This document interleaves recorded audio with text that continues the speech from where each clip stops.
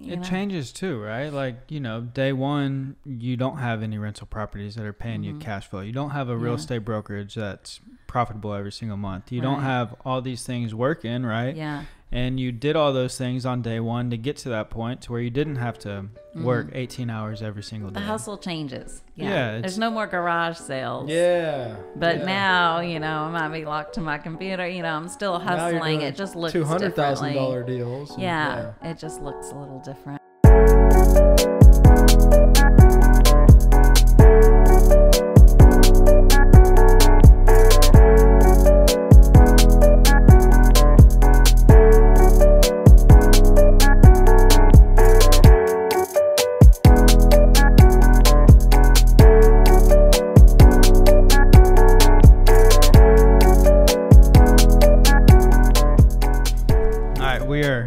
Go. All right, Angie. Thanks for coming. Thank you. Thanks for having me. Uh, so the name of our show is the Real Estate Podcast. That's original. I like it. Yeah, I was Uh-huh. surprised because Yeah. we had a, a previous one, uh, Young Guy Financially Free, and somehow the Real Estate Podcast was not taken, and we didn't Oh. we didn't get it that long ago. Okay. So it's pretty cool. I think it's the whole podcast as the, The- real estate podcast instead of like the real estate show or whatever it may be. Right. Okay. So we're trying to, uh, Uh, you know, get his is that the message website? Do you have a website for it? No Real website, podcast. uh, okay. It's a good idea, though. We should. Yeah. Is it taken? Better. Maybe.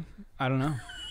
We'll find Shoot, out. don't don't tell anyone. I know, right? Uh, but thank you for coming. Yeah. Quick, It's- quickly get it and then Yeah, sell it get to it you real guys. quick, Alex. Yeah. Um, so easy going. We like to just talk real estate, Okay. um, anything else. But I don't know if if uh, we ever really talked too much about your background that much. Okay. So yeah. we'd love to hear because you got a pretty big business now, Yeah. Stepstone, yeah. and, uh, Stepstone Realty. Stepstone Yeah. Realty. Uh, how many agents? Ooh, we're getting close to 290. 290 Uh-huh. agents. Yeah. That's a lot of agents. It's a lot of Um, agents. and it's a cool, unique uh, Uh-huh. structure. So we'd love to kind of uh, backtrack okay. um, as much as you want to talk about, but kind of what your life's looked like until this point, really. Uh huh. What my life looked like. like where you were point. born, you know. Uh-huh. Where I was what- born, even. Oh man, yeah. we're going way back. All the way back. All right. Well, Day one, way back when, Waco, Texas. Waco, Texas. I was born. Yeah. All right. Well, uh, yeah. Grew up in Waco, Texas. Um, then spent a few years in Washington State going to school. Okay. Came back to Texas as soon as I possibly could. So Good. settled in to Austin. Um, and then, uh, you know, uh, uh, my husband Dan and I, uh, well, we came back to Austin because he was in political um, consulting. So he did that for a while, um, got bored of working for other people. If you ask him, he'll say he watched uh, the movie Office Space and immediately decided he needed to change his life. Uh, so, when, he, when he told me that, when we Uh-huh. had uh, lunch Oh, that one day, right. I, I thought that that was a, Uh-huh. a great story. Yeah, yeah. I didn't realize it at the time while we were watching it, but then all of a sudden he started to bring home library books. Way back when you went to the library and actually checked out books, he would do that and bring home books on real estate investing and um, I pretty much ignored what he was doing, and we had a little little one at the time, and uh, so uh, so he uh, sort of well the firm he was working for kind of dissolved so it was a good time for him to jettison out of that career um, and he started doing lease purchases Mm-hmm. i had a job so i was the one with the paycheck and the health insurance and stuff what like kind of that job? What were you- um, i ran a, uh, at a, a physical therapy clinic so you know medical office management kind of thing Here in uh, in Austin, Austin. yeah, it was called Sports Center. Um, it was pretty cool, pretty Nice. cool job. Um, my first job out of college was as a crisis intake specialist for a mental health organization. That was a lot of fun. I like loved is that, job. suicide. Yeah, like suicide or uh, a lot of um, people with drug problems going through withdrawal and stuff like that. I loved that job. Mm. I've got this random story. This happened last night. Um, this guy, this guy that I know, uh, called me at like 9:30 at night, and he said, uh, "Hey man, uh, you're the last. You know, I'm, I'm trying to get a hold of someone. I don't know who else can help me. I tried to commit suicide like uh, 20 days ago. I Oh, just wow. got out. I need somewhere to stay." And I was like, "Well, I got an RV in my backyard. Oh, I'll leave it out unlocked." And so he came last night. My wife's like, "What are you doing?" Yeah. I was like, "Hey," Somebody needs and she's like, "Are you sure that this Mhm. guy's not gonna do anything bad?" I'm like, "No, I'm not Ah. sure. I'm I, like Yeah. I can't be sure, but this feels like the right thing to do." yeah. Um, so So did you know him? I'm sorry. Maybe I'm yeah, I did know. I don't know him that well. Okay. Like I really don't. yeah. Um, and he's he's texting me right now, Yeah. And I'm like, "Hey, man, like I can give you a couple days for sure." Yeah. So, anyways, Well, that literally happened last night at like That's- 9:30. Well, that's really nice. I'm glad you had a space. Yeah, it's nice to have that um, RV Yeah. back there. It's it's weird times for people right now. A lot of Mhm. stress. So, So I'm sure you dealt with a lot. yeah, I loved that job. I loved that job. But uh, yeah, but when uh, so when Dan really jettisoned out with the uh, real estate investing, um, he you know at lunchtime we'd be talking on the phone. He'd be like, Angie, you need to leave your job. You need to start a business. You know, I'm like. What, what are you talking about? Like, what business am I going to start? And um, so uh, more and more, you know, we talked about it. He knew, you know, he he really wanted me to get my license just so he could use me, right? yeah. Um, and so, uh, Why did he not want to get his license? You know, that's a really good question. I don't know at the time um, why he didn't get his license. He was working with. Um, uh, she was my first broker. Her name was Stephanie Johnson, and so um, I don't know. Maybe you'll have to ask him. He was just too He can busy. be your next guest, I guess. He was just too busy closing deals. He I guess like, Someone needs to be in class. I'm a. Maybe, yeah. Um, so yeah, so and then uh, depending on who you ask, I was either fired or quit from that job.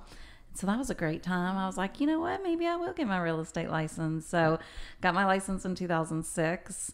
Um, started Stepstone Realty immediately as an LLC brokerage. And so Stephanie, who I'd mentioned before, she was uh, the broker for that company, but I've always owned Stepstone. Um, I don't know if that was the best choice now that I look back at it. It was expensive to um, own an LLC brokerage because it's like twice the fees when you don't have your broker's license. Um, but did that in 2006, got my broker's license in 2009. Um, we really uh, just plugged along, me and Dan, for ages. Um, just the two of us, the broker. Maybe I had one or two friends on the brokerage with us.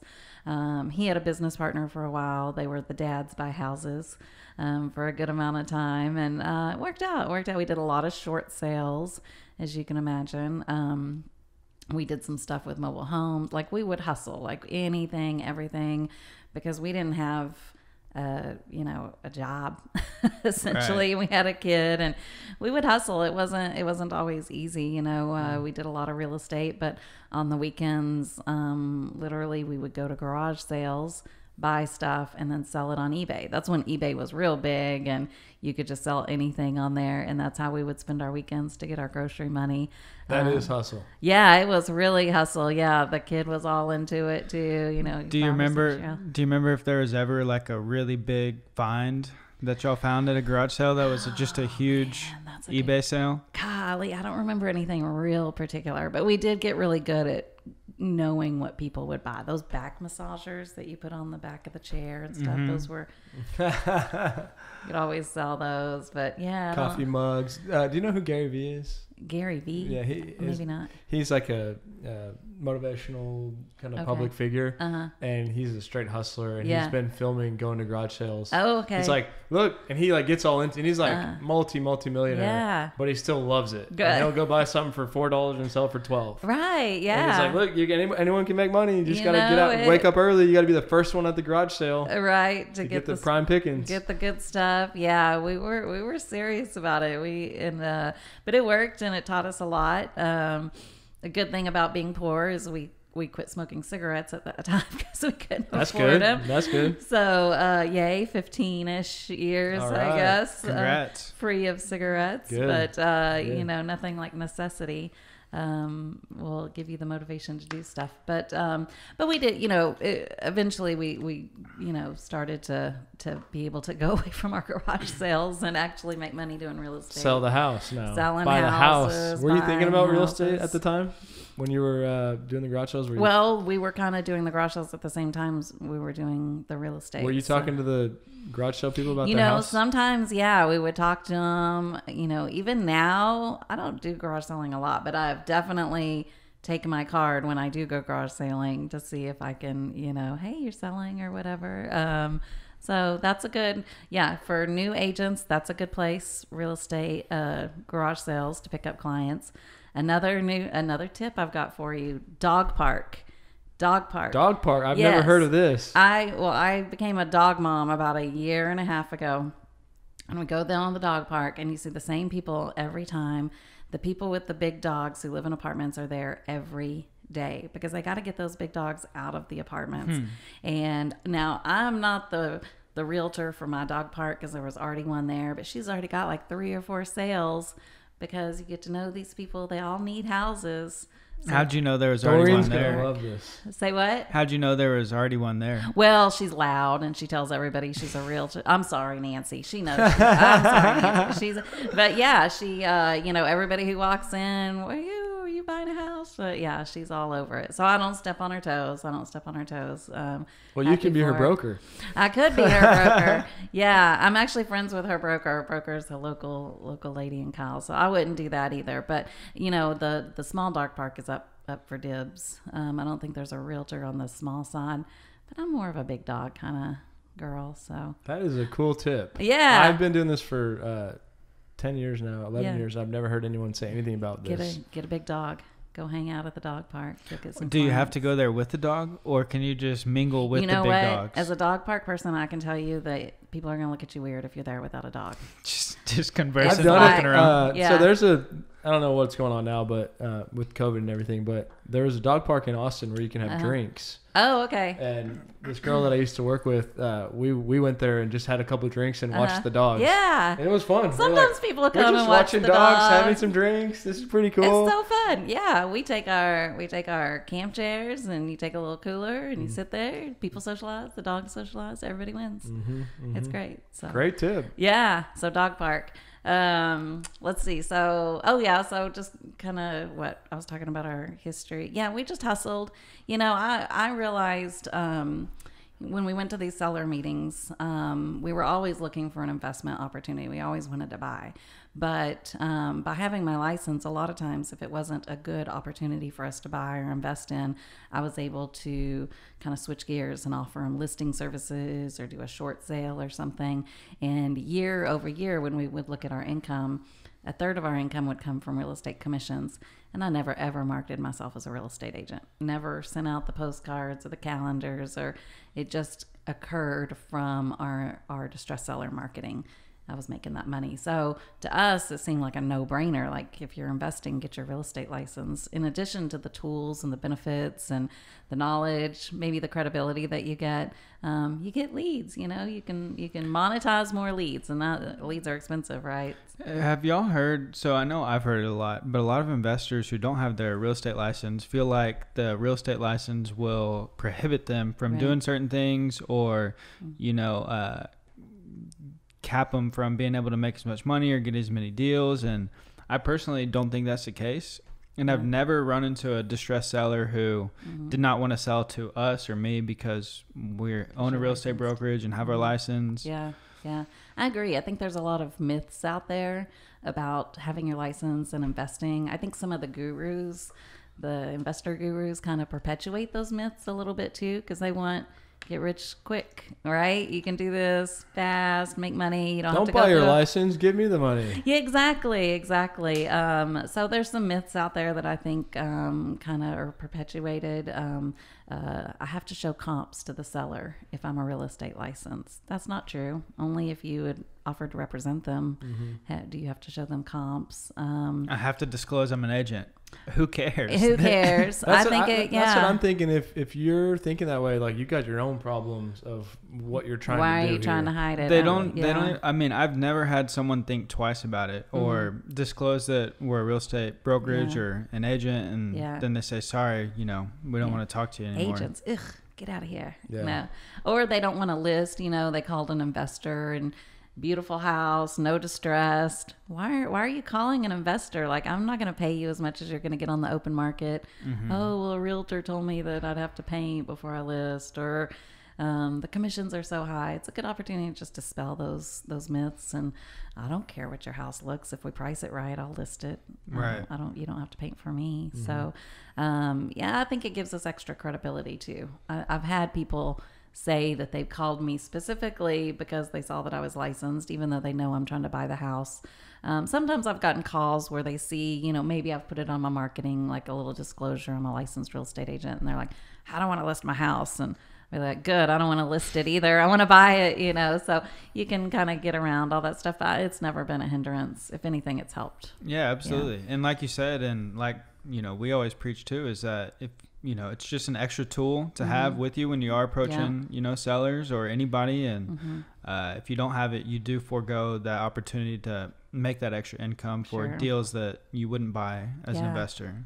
Leads are expensive, hard to come by, especially these days. So Mhm. monetize every one. And I shouldn't blame it all on the investor gurus. I mean, the the realtor community does a pretty good job of dis- discouraging realtors from participating in the market as well, um, which I don't I don't love that. I like to be the counter voice um, to that opinion. Um, realtors, I think. I mean, we do have to be careful. We don't, you know, but in any kind of business, you can get sued. Um, so I think you just act with a high level of honesty and integrity. Do your best, treat people right, and uh, hopefully you won't get sued. Amen to that. but even when you do, they'll they'll still sue you sometimes. But um, yeah, but I, I do think it's a disservice to realtors that our professional organizations are so discouraging of them to really use their expertise and the tools they have on hand to to build wealth for themselves. I really think that why not? You're supposed to be an expert in this field, and you're not going to use it to better yourself. So, Yeah. um, I really believe that that we should shift that opinion. Mm. Yeah, I was actually just on a podcast and she's like, "Why do you think that lenders and realtors don't own properties?" And I'm like, Mm-hmm. yeah, you know, to put it simply, is probably because they don't want to, right? I mean, like yeah. they can, but they're they'd rather go on a vacation once a year than buy a property once a year. I, I Oh, try to make things as simple as that, right? Yeah, I mean, I suppose so. you know what I mean? I mean, uh, anybody can buy real estate. Right. You make the sacrifices, and, Uh-huh. and you know this better than anyone. And that's what I think's really cool about your brokerage because Uh-huh. you know similar mindsets as us is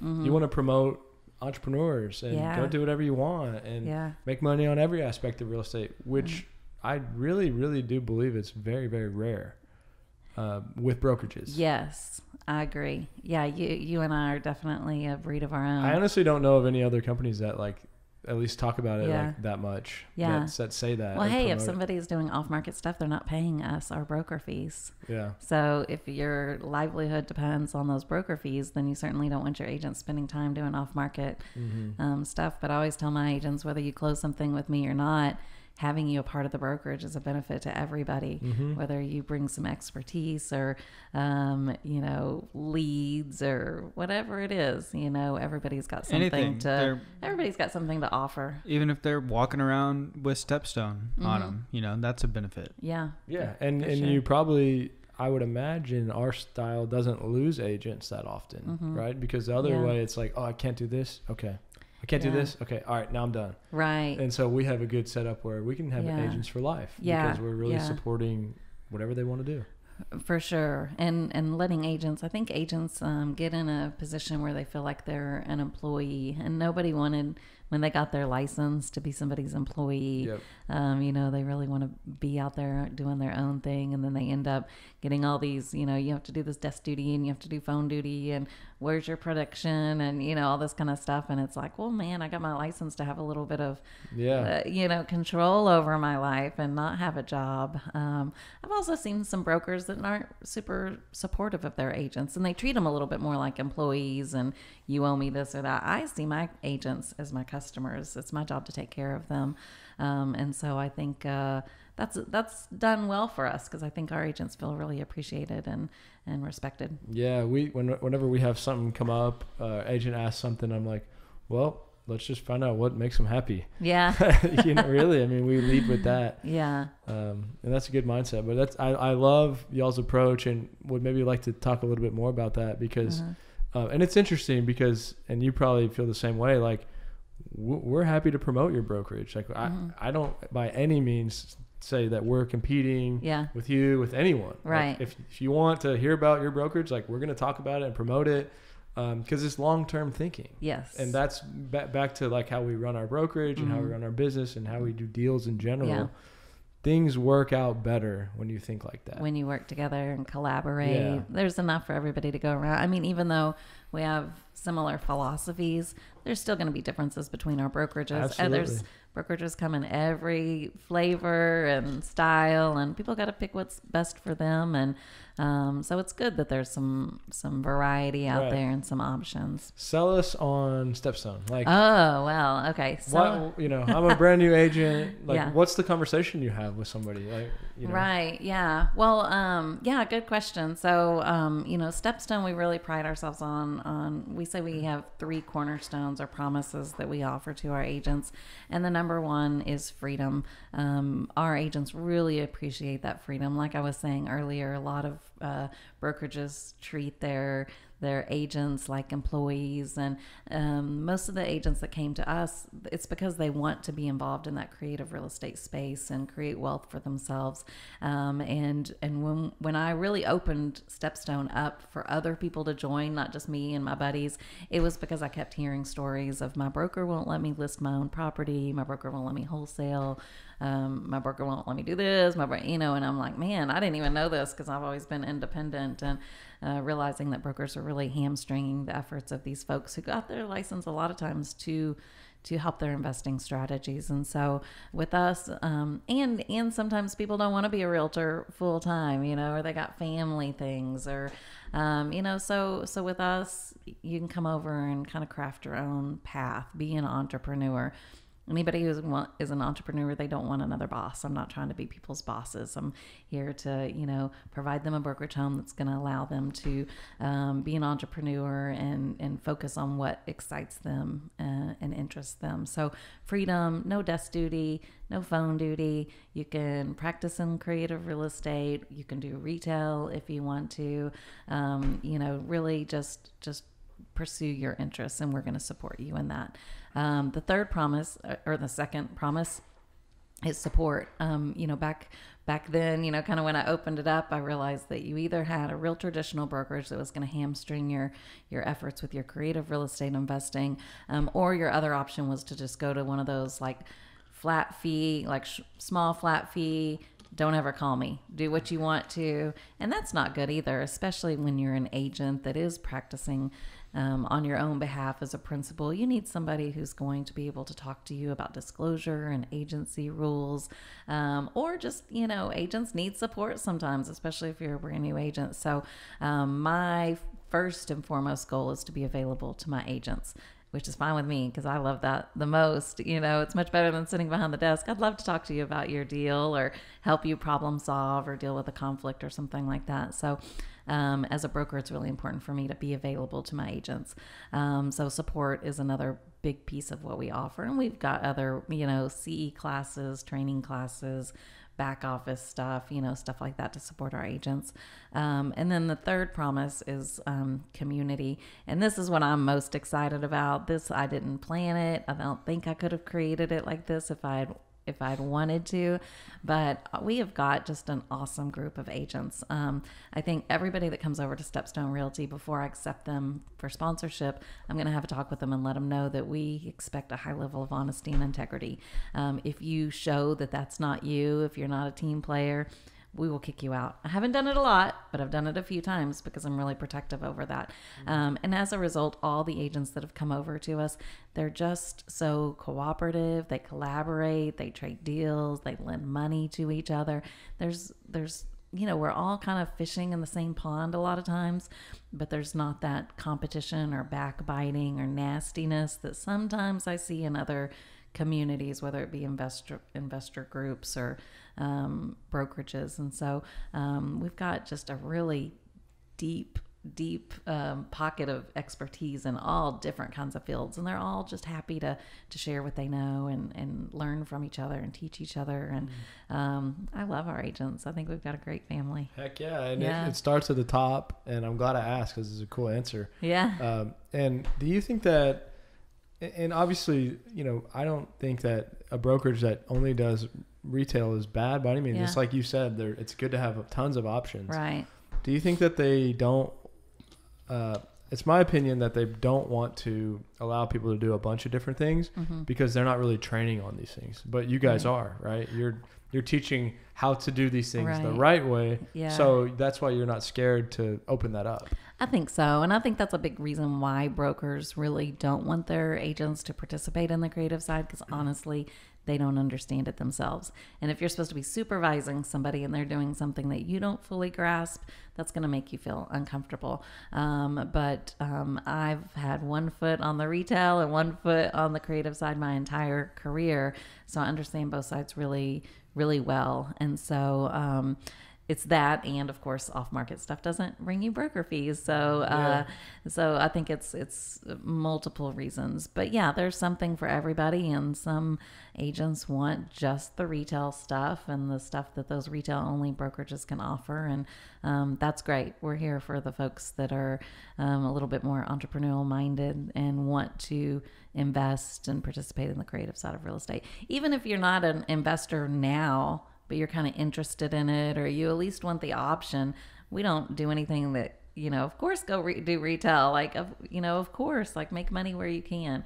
Um, and so folks can come over and, and be around people that are doing the things they're interested in and surround themselves with that kind of support and education and stuff. So even if you're not an investor or consider yourself an investor that doesn't mean that you can't come to stepstone.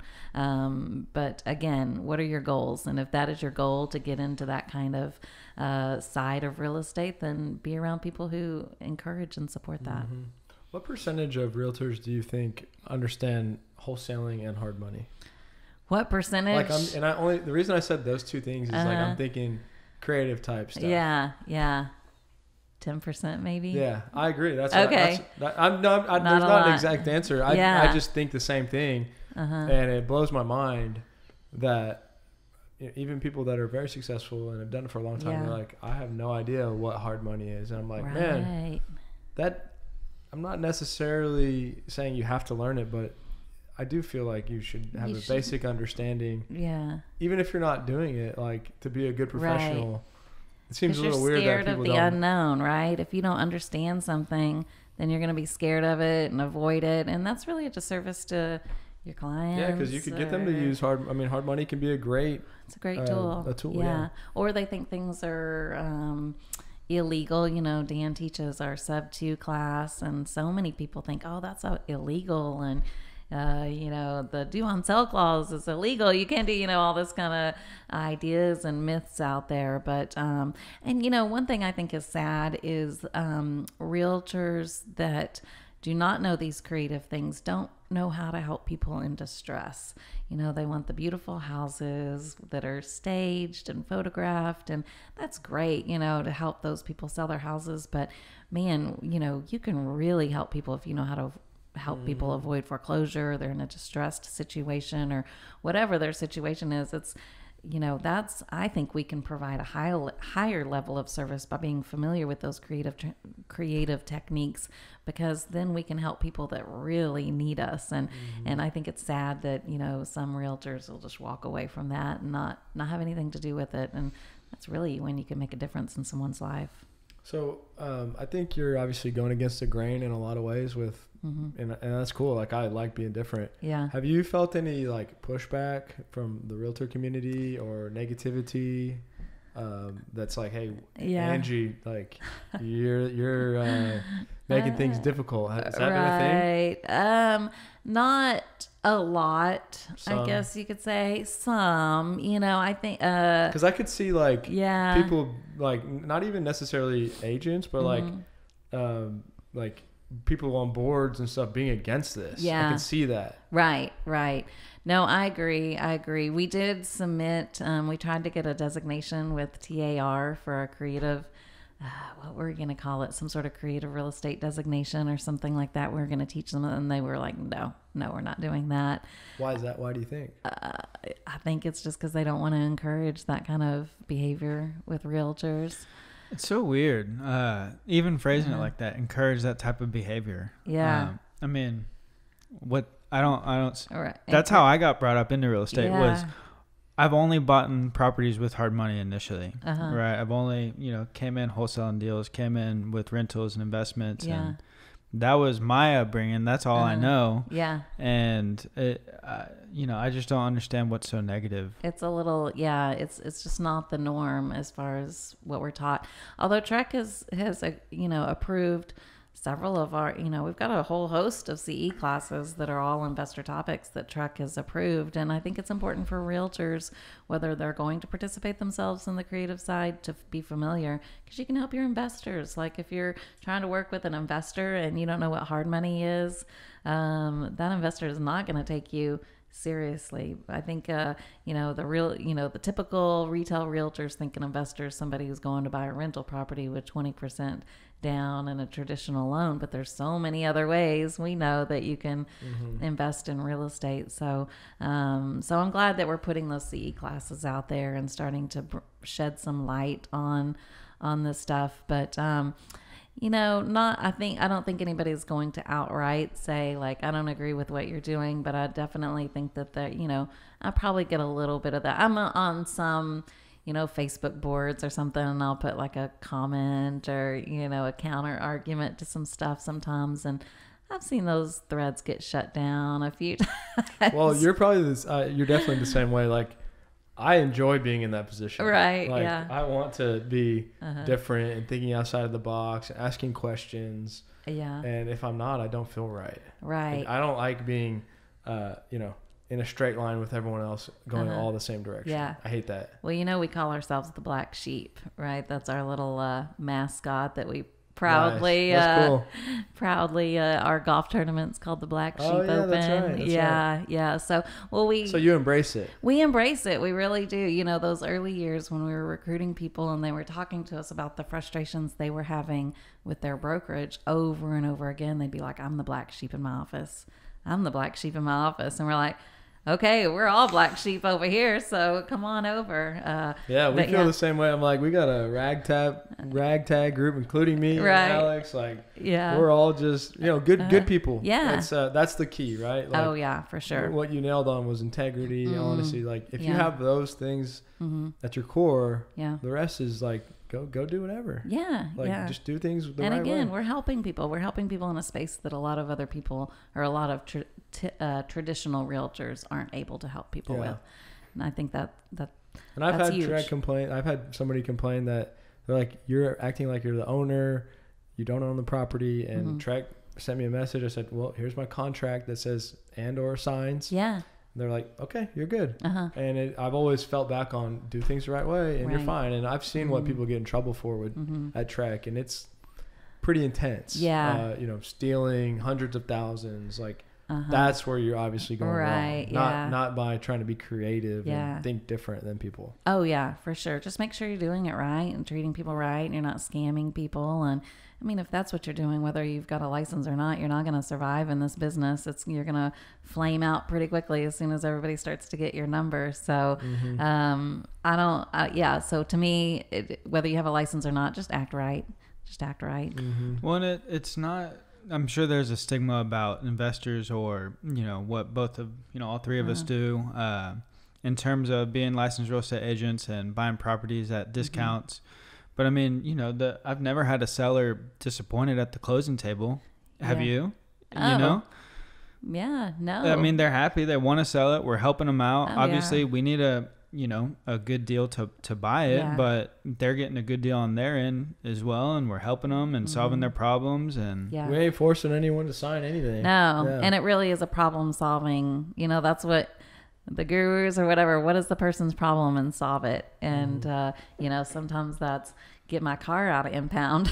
I've done that before. You, Right. Oh, you want to sell your house? That's your stressor is getting your house. You know, okay, so here's my price. Plus, I'll get your car out of impound or whatever it is. You know, get a U-Haul for you. Or and sometimes these these problems get so big for people to to take on themselves that if you can just figure out what their needs are, what their stressors are, and you can help them with that, you can make a good deal. It's helping the communities, you know, or neighborhoods with foreclosed houses or, you know, distressed, nasty looking houses. That's not helping anybody in the community either. Mm-hmm. So it's a, I think we, we provide a very important service, but unfortunately, creative real estate investors do get a bad rap. So, um, so Stepstone, we really do want to raise the bar as to our behavior, how people see creative real estate investors and agents, and um, our tagline our, on our logo is bringing real estate forward because we really do want to push the bar forward and and uh, create a different perception of creative real estate investors. When Dan started investing way back when his parents were like, "What kind of scam are you running?" What kind of unscrupulous stuff are you into, Why did Dan? they say that? I think well that was 15 years ago. So it was before maybe even longer than 15 years ago. It was before, you know, all the flip shows and you know, it just was not a very well known thing. You know, when he started the RIA meeting such as it now it's something entirely different, but I think it was like 15 guys in a circle drinking coffee. Like that's that was the investor group in in Austin, and uh, so it's changed a lot. You know, it's a little bit more well known, but I still think that creative real estate investors kind of are looked at as like, oh, you're still in people's houses or equity or whatnot. So I still think they have a little bit of a bad reputation. I guess it's just people have a uh, limited education. They're they're Mhm. not open to thinking about things. yeah, anybody that's like doing big things, like if you Mhm. were thinking like billionaires and stuff like this, they do all kinds of creative stuff that yeah, it, a small minded person would be like, oh, that's uh-huh. no, that's no, no, I'm not gonna yeah. do this hostile takeover or Right. whatever. That's business. You know? Yeah. I would say it's rarely a hostile No, situation just- when we're buying a house. I'm just though, giving an yeah. example of like Gotcha. that's at the highest end. Billionaires doing this kind of Yeah. stuff, and there's these people that just get limited in their mindset, Uh-huh. and they just don't realize what's actually going on, and, Right. and you're not forcing things. Yeah. and that's why the integrity and all that matters so Right. Oh, it's yeah. just it's just problem solving. It really is. No matter, I mean, whether it's real estate or the billionaires or Jeff Mhm. Bezos and Amazon, it's just you get paid proportionally to the. Yeah, size of It's the just- problems I'm you're. just saying, like people could like look at what Bezos is doing and Uh-huh. like forget about like his status and all that, and be like, oh gosh, that is that's wrong. hmm But this is like the top level capitalist in the system. You know, Yeah. that's how these things work. Right. Yeah. yeah, I Crazy mean, world out there. So what? I'm I'm curious because when you said 15 guys, uh, I know. female. oh, the, I guess like yeah, that was probably mis- Well, not no, as no. many females. but the reason I asked is like Mhm. being a female in the business. Yeah. Um, and been doing it for a long time and having Mhm. your own brokerage that's rare Yeah. right Yeah. there's probably not that many uh, well there's a lot of female yeah. agents but Yeah. not own brokerages Right. Um, right. and coming up through that and seeing Mhm. the changes like did you see challenges like breaking into the industry on that level i'm sure Right. Yeah. I mean, I think that uh, I think that any woman in a, a position of you know having um, come up in her career, I guess, is going to experience some of that. And There's a little bit of a boys' club with the in. That's why real estate. And- yeah, I remember specifically one time. Uh, uh, me and Dan met with uh, one of she was my agent at the time. She's not with me anymore, but I still love her. Dana Ams. Do you know Dana? i don't know dana Uh, she is just the most brilliant designer. I love her. We partnered on her with so many different things. Well, she bought one house, remodeled it, and then she bought the house down the street. Um, she got bored, you know, after she did the one, it was the same floor plan. She's like, I just don't want to do the same floor plan again. So we brought over a guy um, that we thought might buy the house down the street from her. So we were just kind of helping put some pieces together. Me and Dan didn't have any ownership interest in the, we just knew the potential buyer. And so we showed him the house that she remodeled, which was, of course, just on point, every bit of it, because she's just brilliant.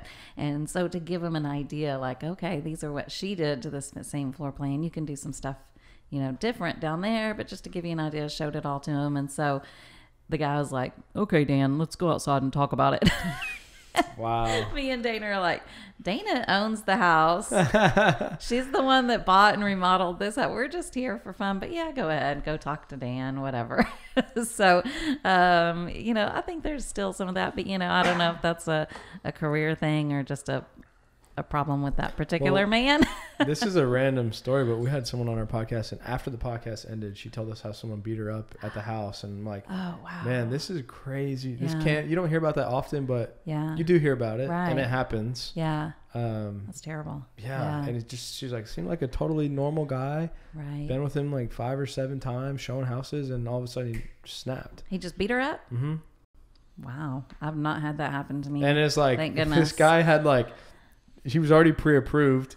He had all his documents in. This is like Yeah. she got out, like she Yeah. like ran out, and then he, I'm sure he got arrested. Uh, Yeah. had his driver's license. That's terrible. Yeah. But it's not things that that I think about as a guy. I don't. I don't, I don't worry don't about that. about I'm sure it could happen, and obviously people can beat me up. But like, Right. it's a different world. I'll take you on in the parking lot. I'm not gonna mess with you. yeah, it's you know I think uh, being a woman in business, there's always going to be those challenges, but I just don't let it. I don't let it get to me. If Yeah. somebody's got a problem with uh, that, it's a personal problem and not my problem. hmm Yeah, and you can have challenge like we can have challenges for being young and Yeah, you know, sure. Yeah, youth definitely. I had uh, one time uh, I had an a, a new agent come over, and she was um, an old, probably I'm gonna say older. She's probably my age, to be honest. Um, and when we get a brand new agent, we'll hook them up with one of our more seasoned agents who are also seasoned investors and whatnot. So I've got this. Um, woman in Dallas. Her name's Erica Butler. I'll give you a shout out, Erica. She is awesome. She's so smart. Her and her husband are killing it, and they're young though. And so I set her up to be the captain for this older woman. And later, the older woman called, and she's like, "This just isn't going to work. She's just too young. She just can't even comprehend." And I'm like. You are missing out because you know she is killing it. You're doing nothing. You know, maybe you can learn something from her. But I was, yeah, there's there's definitely a youth issue too. I mean, I You feel gotta- it. People are like, Angie, you're so young, and uh, I don't know gotta- if I can take you seriously. hey, you got to use things to your strength, right? And Yeah. um, you're still hustling and getting after Oh, it. yeah. And what I tell our agents is like, yeah, you may be young, but you you got the work ethic and Oh, the yeah. hustle, and that goes a long way. The energy. Yeah, the energy. I don't. I don't think it really matters. You know, like it's so. just like buying. You know, properties. It's just solving Yeah. problems. If you know that door doesn't open because Mhm. I'm 26 years old, whatever. This door over Yeah. here will. Yeah, You just don't let it slow you down. You just keep going. you gotta. you it. can- yeah, You can go sulk in the corner if you want. Yeah, But- you're going to make mistakes and you're going to have learning opportunities. And so there is something to be gained with, you know, experience and age, but you, you know, you can't get there without going through the slog and learning that stuff yourself. So, um, somebody who's willing to make those mistakes and try is going to get a lot further than somebody who's just going to think I'm too young to pull that off or I'm too scared or whatever. So, um, you know, it's people are like sad about getting old and I'm like it's better than the alternative, right? So you got to get through those learning Yeah. experiences. And there's different stages of life, and I'm curious because I'm. I'm kind of at a different stage now with having two kids and stuff. yeah. Do you feel as if like you're less motivated in some ways than when you first started, or is it just Mm. different? Because I'm starting. I'm not less motivated, but I'm starting to think about that, like because Yeah. priorities. Right. Right. It's like, well, maybe I'd rather go to the Uh-huh. park with my kids and go cold Yeah. call right now. It is, yeah, it's a challenge and a balance, especially when you have younger kids. Um, I think that my life is a little easier now that my son's older and I don't have those pressures. In fact, he pretty much cooks dinner for me every night now. Well so done. I know, right? Yeah, I have to get the Hello Fresh stuff, but I he gets the directions and the food, and he cooks it. So, um, you know, uh, so I don't know if I've lost motivation, but you definitely start to appreciate the the time off and the need to, especially when you run your own business. Um, it's very easy to get really caught up in it and forget you know the personal kind of becomes the professional and they it bleeds together especially you and lexi are in business Mhm. together right so Mhm. you're just like where does one end and one begin so i think that's probably I've never done that on a podcast. that's probably my biggest challenge is really trying to craft a personal you know keep keep a actual personal life Mm-hmm. and not let it not let it bleed in but um you It know, changes too, right? Like you know, day one, you don't have any rental properties that are paying you Mhm. cash flow. You don't have a real Yeah. estate brokerage that's profitable every single month. You don't have all these things working, right? yeah and you did all those things on day one to get to that point to where you didn't have to work Mhm. 18 hours every single day. the hustle changes yeah, Yeah, there's no more garage sales yeah. but yeah. now you know i might be locked to my computer you know i'm still hustling it just looks $200,000 deals. and- yeah, it just looks a little different but yeah, it's uh, a it's a different level. I mean, that's the goal, right? yeah. It is the goal, but don't a- get caught up in in the business. You know, I think I think that's hard, especially for men. Um, you know, trying to balance. Well, it's really hard for women, I'm sure, but trying because you're supposed to be the breadwinner and you're supposed to be out there. You know, bring it in. A lot of it. You know, even though Dan and I were in business together for a long time, I always kind of felt like ultimately he's gonna you know he's gonna pull us through so you have that kind of pressure on your mm. on your shoulders but um, if you blink man they grow up really fast so just be you. real careful you know you. to make sure that you're cra- you know carving out that time um, yeah. to make sure that you're appreciating it because they won't remember your hustling they'll remember the time you were there yeah it's good advice yeah, yeah i think about it all the time and i try to bring it up and be like hey let's just remember like to slow down and yeah. enjoy this and it's also i feel like uh, a lot of times easy to look back and somewhat romanticize like uh-huh. oh man things are like amazing in college yeah it's like well actually i had no money and hated class you know what i mean yeah. so like uh, just try to i think the biggest uh-huh. thing you can do in life is live in the presence yeah because that's all you have um, mm-hmm. and and just you know try yeah. to do the best you can and be proud of what you're doing and hustle and grind sure. and have fun experiment yeah yeah, but don't let life take over totally. your work. Totally. Yeah. Because there's there is never enough money. No. You know? Yeah, you know, my dad said that. I quit. I quit college. Um, I did not finish college, which I hate. I, sh- I should go back one of these days. I had one, maybe one semester, maybe two semesters. I was in such a hurry to get back to Texas that I thought, well, I'll just transfer. Anyway, long story. I didn't finish, and my dad, when I told him I was gonna drop out and get a job, He's like, Angie, don't do it. And I'm like, I'll go back to college. I'll, I promise to. Nope, nope. You're just going to grow into your income. You'll never want to go back. You'll, you know, you just, you think you make enough and then you're making that much and you're like, I can't, you know, it's never enough money, right? You always need more. You're always going to grow into that, that, income. Grow into the income. I like that. Yeah. That makes sense. Yeah. I like to not do that. Yeah. Yeah. You get that? What you like? you make more money and then your life kind of expands. Your so you're really not making expand. more money. Yeah, you don't have like, to. Warren, Warren Buffett. Still, yeah. Still eats at McDonald's. Yeah. Still drives a Toyota. Still lives in his, you know, hundred thousand dollar house. Well, you know, maybe Warren should maybe treat himself to like a Chick Fil A. You're if so for he me. Does. I've I've I've seen his house and I'm like, yeah, he probably still owns uh, that, but he's he's probably in. Uh, yeah. You know, Spain right now. But yeah. For so for Warren, I guess his businesses grow with his income, and uh-huh for us, or at least for me, it's yeah. the real estate grows. Every single penny that comes in, it's not going to a mm-hmm. Mercedes or a right, downtown right. condo or to yeah. a trip to Hawaii. Yeah. It's yeah. How well, much more true, real estate? The bigger your business gets, the more obligations that you have. Like when Dan and I first started, you know, we didn't have any employees, and now we've got employees and health insurance and people that are counting on us. Um, office expense, you know. So as your business grows, you may make more money, but you've got a lot more expenses mm-hmm. too. Mm-hmm. But that's been, I will say, that is one of the most um,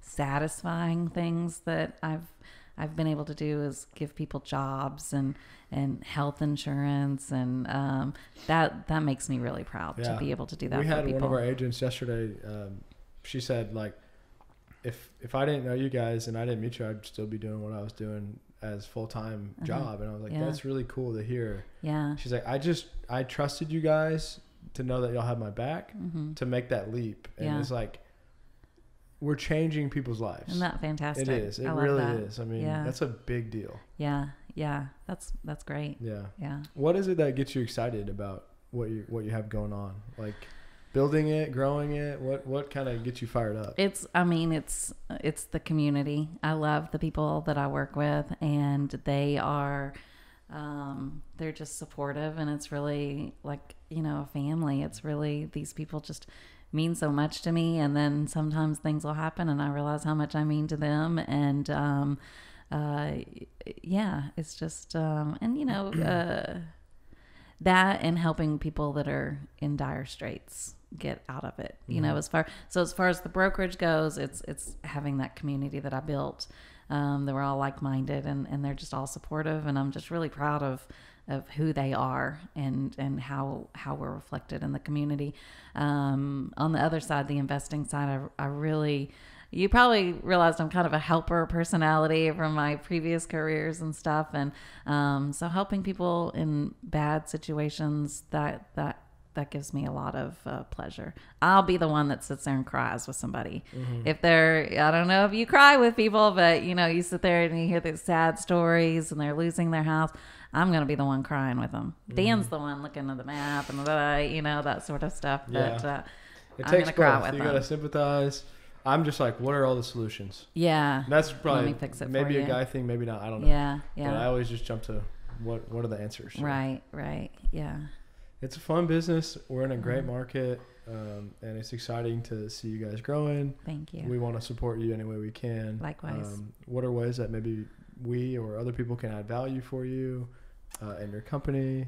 Oh man. Well, I mean, this is great. You know, bringing us bringing us on to your to your podcast. You got a great uh, uh, presence. Um, we've talked about this how how we're getting old. You know, we need to bring some of that youth energy. Um, yeah, we're not that old. Jeez, like being around y'all makes what are y'all like twenty five or something? I'm 29. He's 20, 26. 26. Oh my gosh. Yeah, my son's like 24, but I had him really young in my in my excuse. I'm really not that old.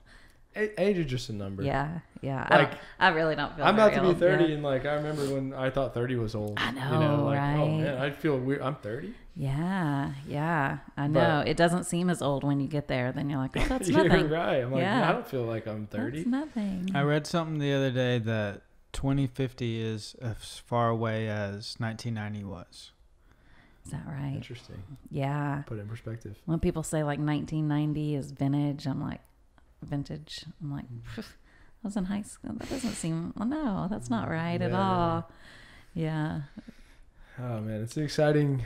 Uh, but that's what's cool about real Mhm. estate is you can play the long game and you can Mhm. do this forever. So right? many- There's yeah. nothing that prevents you from doing this for the so next. many avenues, so many options. There's just not one box, and I think that's what's great about our brokers is we don't try to pigeonhole people into you do this for us and that's it. You know, really let people kind of explore their own interests, Mhm. and and we want to support that. And you guys are in Houston, San Antonio, Austin, Dallas.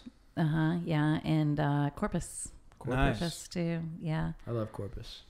you love I love to visit Corpus. Yeah, yeah. I went to school there for four years. Oh, okay, Yeah. okay. Yeah, we're kind of growing in Corpus. I think we're up to about six agents. We had one agent there for years, but uh, she's a very experienced investor, has been there for a long time, so she kind of held her own down there. But yeah, it's kind of. That's where I got growing started. I market got for the us. rookie of the year. Oh, is that right? 2011. In Corpus, Yeah. yeah. 2011 rookie of the year. Well, I was always rookie of the year because I was like only agent for Stepstone for.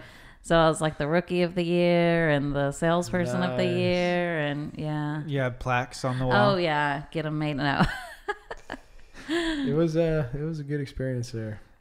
Um, that's awesome. yeah. Well, and, I, and I'm impressed that you know it's not every day you meet another broker that's as young as you are and that's got similar viewpoints on how Mhm. real estate should be done. So yeah, it was it's cool. really exciting. It was cool hearing about you guys because Uh-huh. um, I just I don't know anyone else that does it like you do, and I feel like we d- we have the same mindset with it. Yeah, it's like when you like when I um, met D- Dusty Kahn. Do you know Dusty? He does a lot of short sales, and you know you meet so like nobody likes short sales, but I've listed hundreds of short sales, and then he's done it, and so it's like when you meet somebody and you're like, oh, you're a sh- you're a short sale person too, you know, like you know, it's like you uh, have that special connection with people that are a little That was the best. My first best deal. Uh, my mom bought it, and Uh-huh. it was a short sale. Uh-huh. It was in Corpus, close to the water, listed at like 220, and I got it for 115, Yeah, and it was worth 190 all day. And I was yeah, like, uh, you know, I was blessed that my mom paid for school, uh huh. and I was like, hey mom, uh, I just paid you back on that deal. Wow, yeah, oh, you know, yeah. like, you just made 80k, so yeah, we'll isn't call it that even. Not something? really, but I just Yeah. messed with her on that. Right, right. I'm sure she appreciated Oh, that. for sure, Yeah, for sure. yeah, for sure. She was probably thinking she could have got it down to 99. Ha! Is that your mom? She's Probably. like, man, I could have done better. Probably, yeah. What does your mom do? Um, so she worked at an asphalt and uh, paving company. Okay. She was an estimator for striping, like the Oh, okay. fire lanes and all Mhm. that. And she Right. did that for 20 years. And all along the way, she was buying properties. That's, Okay. That's kind of what So you came got up me with introduced that. to it. Yeah. Yeah. When we did our first uh, golf tournament, we did a charity golf tournament. You can bring me back next August or something. We can Sure. talk about the golf Yeah, tournament. it'd be great. Um, the first one we did, we did for a company called Venture Labs. Um, they're in San Antonio and they provide entrepreneurship education for kids. And what they told That's us, cool. yeah, it was a really cool organization. One of the things the guy told us is the number one indicator of somebody being an entrepreneur is that they had somebody that they grew up with that was an entrepreneur. So, um, so your mom having done that, you know, probably was a big influence. Dan's dad was a uh, owned his own business. So I think that's kind of where he got it from. And so I thought that was just really interesting um, that we can kind of be an example for kids to show them, you know, what what's possible out there. And honestly, like, uh, I mean, obviously, we, we do get things out of this podcast, but we don't know how to measure it. yeah. Uh, but that's a big part of why we do this is like we're just passionate about it and Yeah. we believe in getting that message out there. Yeah. Like nobody's paying us right now to do this. Uh-huh. Yeah, sure, we'll get benefits, but we're not Yeah. we're not even like trying to count that. Yeah. But we love to show people what's possible. And- Right. And, we have people all the time, yourself included, that were like uh, just built things from nothing, Uh-huh. and it's like proof that anything can be done. You know, Yeah. we've had people on here that are legal citizens that own Mhm. multiple properties. Mhm. Uh, my mom, single mom, Mhm. raised my brother and I. I am still kind of confused on how she did this. um, with me raising two kids with a wife. Yeah. And she worked a full time job, bought real estate, and raised my. And my brother and I were not easy to raise. No. yeah, he knows. He was around us. M- More so my brother. right, More so my brother. Uh-huh. Uh, but like anything's possible with this business, and that's what is Mhm. so cool. And it's if you have this abundance mindset, Yeah. you you realize you can help people, you can grow Mhm. together, yeah. and just live life and have Yeah. fun with it. It's not a quick get rich quick thing though. You got to have fortitude and Sacrifice, a lot. sacrifice and hustle Mhm. and um but when you get there and i'm i don't think i'll ever consider are you ever there? Right? Never. But when it gets a little easier when the, there's a little bit more money it's it's really satisfying to know that you did all that Mhm. yourself. Um, but it sure ain't easy. It's it's not easy. Um, so if you're in that boat if you think it's a get rich quick then go get a job i think but if you're if you're really willing to to work at it and you're passionate about it then then there's nothing better in the world than having to having you know built something like that Yeah. yourself If you want to do the get rich quick, just go to Vegas, red or black. God, yeah red or black. Red or black. If you want to get crazy, go for the green. No, if you want to get crazy, go for the numbers. Thirty-one to thirty-one Yeah, to one the odds. double zero, the green. oh okay that's yeah, those are the, well that'll be the next podcast how to get rich quick you gotta yeah Go to I'll watch Vegas, that red or black. That's all it takes. No, but thank you for coming on. thank uh, We appreciate your time. It's uh, it's been a pleasure to hear a little bit more. thank you And um, how can people find out about your company? How to get a hold Uh, of you? How to sure. join the team? go to our, our website stepstonetexas.com spelled out d-e-x-a-s stepstonetexas.com we've got a lot of ce classes whether you're uh, an agent or uh, not an agent you can still take the classes um, but a lot of them um, are on uh, creative real estate techniques um, so come take the classes watch our blog sign up for the net, the newsletter Yeah. All right, we love it. Thank you guys for tuning Thank into the Real. Estate Podcast. Angie, thanks for coming. thank you Till, Hope everyone has till a great next day. time in Till next October, right? Yes. No, wait. The August. golf tournament is September of every year. So let's talk like August, July or August. Get ready for the golf tournament next year. Black Sheep Open. It's so much fun. I'm not even It's lying. in Kyle, uh, Plum Creek. Yeah, Plum Creek and Kyle. It's such a good tournament. Everybody has so much fun. I've been to other golf, so I hosted this. We put it on every year. We didn't do it this year, of course, because of obvious reasons. And then I've been a participant at golf tournaments, and I go there expecting something like what we do, and I'm sadly disappointed. I'm like, where are the games? Where are the drinks? Where's all the fun? Mm-hmm. It's not. No, Black Sheep Open is where it's at. All right. July, August next year. Yes. Cool. Thank you for coming on. Appreciate it. My pleasure. Thank you.